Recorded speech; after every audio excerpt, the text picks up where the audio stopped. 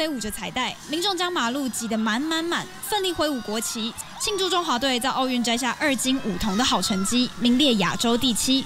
总统府十六号下午举行台湾英雄大游行，总共有六十七位奥运国手参与同乐。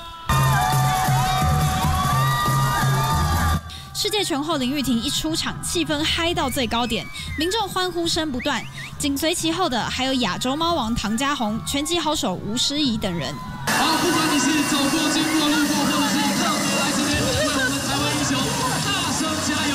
游行一路从总统府出发，马路两旁被热情的民众塞得满满满，大家挥舞着国旗，开心喝彩，庆祝选手荣耀归国。选手们也坐在车辆上与国人挥手互动，气氛嗨到最高点。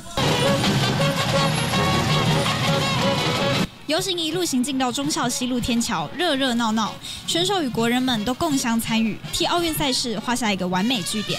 东森新闻综合报道。